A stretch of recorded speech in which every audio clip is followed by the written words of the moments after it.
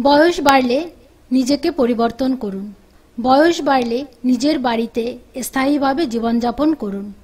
নিজের সম্পত্তি নিজের কাছে রাখুন। ভালোবাসায় ভুলে কারও নামে করে দেওয়ার কথা ভাববেন না। আপনি আপনার পাশে থাকা মানুষজনদের মধ্যে থাকুন, যারা আপনাকে কখনো দুঃখী দেখতে চায় না। কারও সাথে নিজের তুলনা করতে যাবেন না।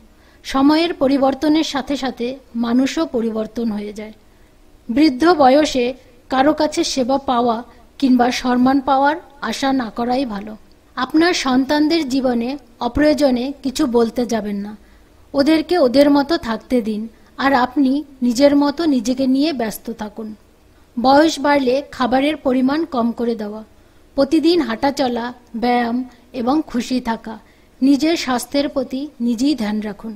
ভগবানের কাছে প্রার্থনা করুন যেন বাকি জীবন যেভাবে আছি সেভাবেই কেটে যায়। ছোট ছোট সমস্যা নিয়ে চিন্তা না করাই ভালো।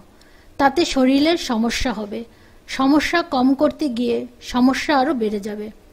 জীবনে কোনো কিছু স্থায়ী নয়। তাই ঘটে যাওয়া সব কিছু সহজভাবে মেনে নেওয়া। আপনার বয়স বাড়ার আগে সব স্বপ্ন পূরণ করে নিন। পরে আপনার স্বপ্ন পূরণ করার কারও সময় হবে না।